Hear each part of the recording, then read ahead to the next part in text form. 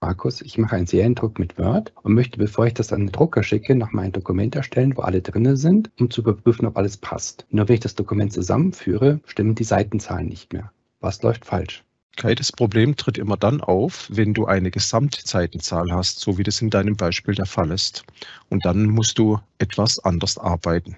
Ich habe hier den Seriendruck und wenn wir in die Fußzeile schauen, dann sehen wir hier rechts auf der Seite Seite 1 von 2 und entsprechend auf der nächsten Seite Seite 2 von 2. Das ist erzeugt logischerweise mit der Word-eigenen Funktion. Wenn ich da einen Doppelklick mache und dann in die Fußzeile gehe, dann kann ich da vorne die Seitenzahlen einfügen. Und wenn du das über diesen Weg hier machst, dann hast du genau dein Problem. Wenn ich nämlich dann zusammenführe auf der Registerkarte Sendung und hier auf einzelne Dokumente bearbeiten gehe und sagen alle, dann erzeugt mir Word ein Dokument und jetzt springe ich mal mit Steuerung Ende ganz ans Ende und siehe da, dann gibt es da ganz komische Seitenzahlen, nämlich Seite 2 von 32. Was ist der Grund dafür?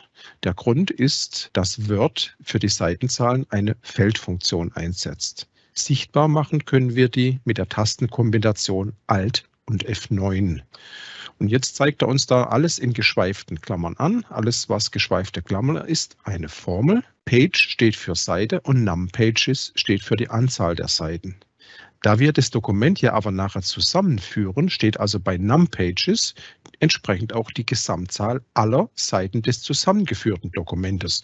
Was müssen wir tun? Dieses NumPages ersetzen durch SectionPages. Also Doppelklick darauf, Feldfunktionen anzeigen und dann kann ich einfach da reingehen, das Num rausschmeißen und ein Section davor machen. Und das Ganze natürlich auch auf der ersten Seite, nicht nur auf der zweiten Seite, drücke ich erneut Alt F9. Es hat sich scheinbar nichts verändert, ist auch richtig im einzelnen Dokument, darf sich ja auch nichts verändern. Und wenn ich jetzt das Ganze zusammenführe, erzeugt mir Word mein Dokument. Ich springe wieder mit Steuerung Ende ans Ende und siehe da, Jetzt passt es, jetzt ist die Seite 2 von 2 und da vorne ist die Seite 1 von 2. Jetzt passen die Seitenzahlen.